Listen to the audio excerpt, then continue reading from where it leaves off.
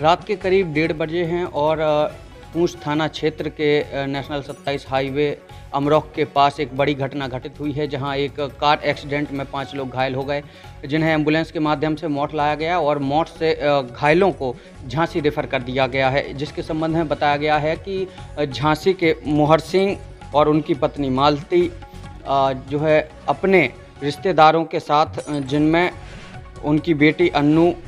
उनका दामाद सुनील और जो है, जो लोग इटावा के निवासी थे इनमें इनका सुनील का बेटा वेदांश जो पाँच वर्षीय है, वो लोग एक जन्मदिन कार्यक्रम में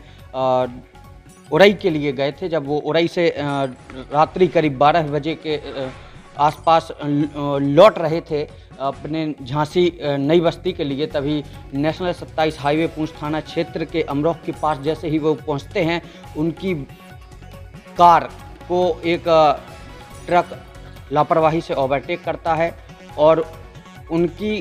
कार उस ट्रक से टकरा जाती है, जिससे वो क्षतिग्रस्त होती है और इस घटना में तीन लोग गंभीर रूप से घायल होते हैं। अन्नू मालती और मोहर सिंह गंभीर रूप से घायल हुए, जिन्हें तुरंत मौके पर पहुँची। एंबुलेंस के माध्यम से सीएचसी मौठ लाया गया जहाँ उन्हें चिकित्सकों ने प्राथमिक उपचार दिया और हा, हालत गंभीर होने पर आ, उन्हें झांसी रेफर कर दिया गया है। घटना में उनका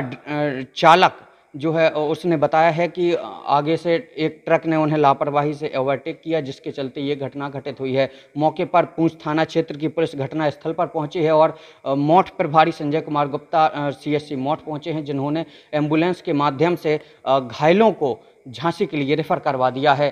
कैमरामैन नीलेश कुमार के साथ मैं, Manoj Kumar Nirala, new thirty express, team Jhansi.